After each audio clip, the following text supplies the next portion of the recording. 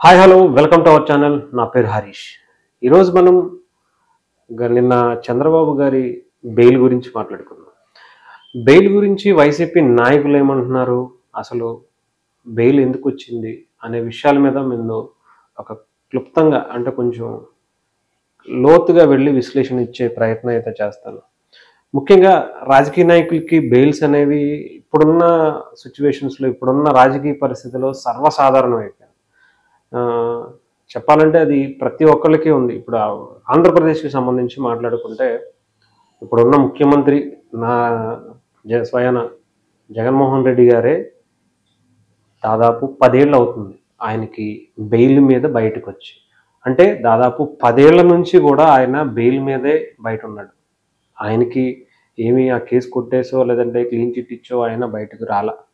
ఇకపోతే ఇప్పుడున్నటువంటి ప్రధాన ప్రతిపక్ష నాయకుడు నారా చంద్రబాబు నాయుడు గారు టీడీపీ అధినేత. ఆయన ఇప్పుడు బెయిల్ మీద ఒక మొన్న లాస్ట్ మంత్ వచ్చారు బయటికి. ఈ మంత్ ఇరవై నాలుగుతో అయిపోతుంది అని చెప్పి చాలామంది అనుకున్నారు. మళ్ళీ నిన్న కోర్టు కంప్లీట్గా ఆయనకైతే బెయిల్ మంజూరు చేయడం జరిగింది. ఇటువంటి మొన్నైతే కొన్ని కండిషన్స్ పెట్టి బెయిల్ అయితే ఇచ్చింది. ఇప్పుడు అలాంటి కండిషన్స్ అన్నీ కూడా ఎత్తేసి బెయిల్ అయితే మంజూరు చేయడం జరిగింది.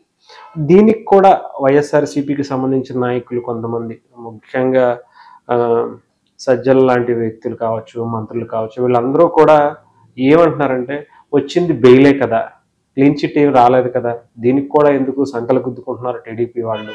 అని అంటున్నారు. మరి అదే మాట వైఎస్ఆర్సీపీకి సంబంధించిన ముఖ్య నాయకుడు ప్రధాన అధ్యక్షుడు సాక్షాత్తు ఆంధ్రప్రదేశ్ ముఖ్యమంత్రి.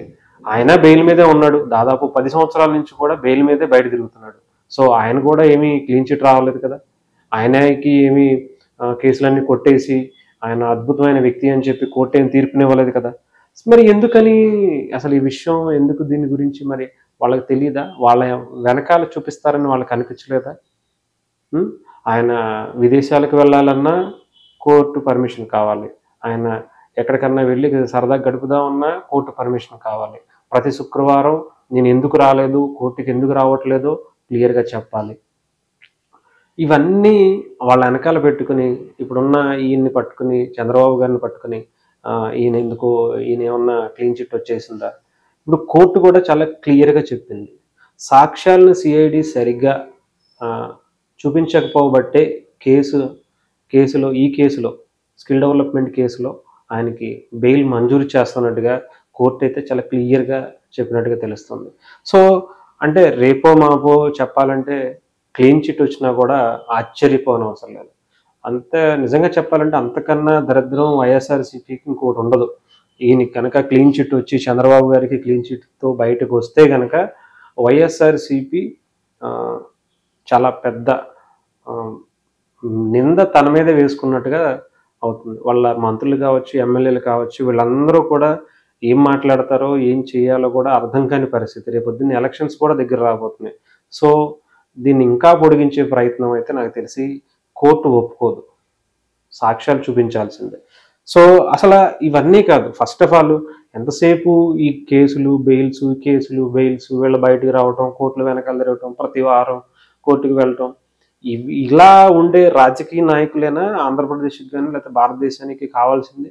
అసలు మనం ఏం ఆలోచిస్తున్నాం ఏంటి అనేది ప్రజలు ముందు తెలుసుకోవాలి. ముఖ్యంగా ప్రజలు అసలు ఎంతసేపు ఇలాంటి వాళ్ళకైనా ఈ కేసులు ఇప్పుడు వాళ్ళు ఏమన్నా అద్భుతమైన చేసి స్వతంత్ర పోరాటం చేసి కేసుల్లో ఇరుక్కున్నారా అంటే కాదు.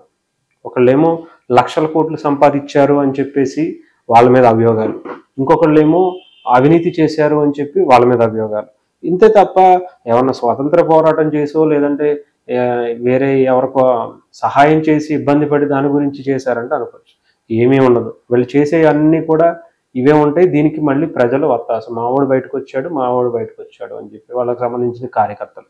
అసలు ప్రజలు కూడా ఆలోచించుకుని రేపు గనక విజ్ఞతతో ఓటేస్తే ఈ అసలు ఇలాంటి పార్టీల పరిస్థితి అంటే ప్రతి వారం కొట్టుకెళ్ళేవాడు కావాలా? లేదంటే అసలు కేసులు బెయిల్స్ బెయిల్స్ మీద బయట ఉన్నవాడు కావాలా అని ప్రజలు నిర్ణయించుకుంటే వీళ్ళ పరిస్థితి ఏమైపోద్దో కూడా తెలియదు. అంటే రాష్ట్ర ప్రజలు ముఖ్యంగా ఒక కీలక నిర్ణయం అయితే తీసుకోవాల్సిన టైం అయితే వచ్చిందనిపిస్తుంది. ముఖ్యంగా ఈ బెయిల్స్ వీళ్ళు ఎంతసేపు రాష్ట్ర అధికార పక్ష నాయకుడు ప్రధాన ప్రధానంగా ఉండేటువంటి ముఖ్యమంత్రి బెయిల్ మీదే ఉంటాడు. ప్రధాన ప్రతిపక్షమైనటువంటి ప్రధాన ప్రతిపక్ష నాయకుడు కూడా బెయిల్ మీదే ఉంటాడు. ఇవన్నీ చూసుకుని అసలు ఏం చెప్దాం అనుకుంటున్నారు? ప్రజలు ఏం ఆలోచించుకుంటున్నారు?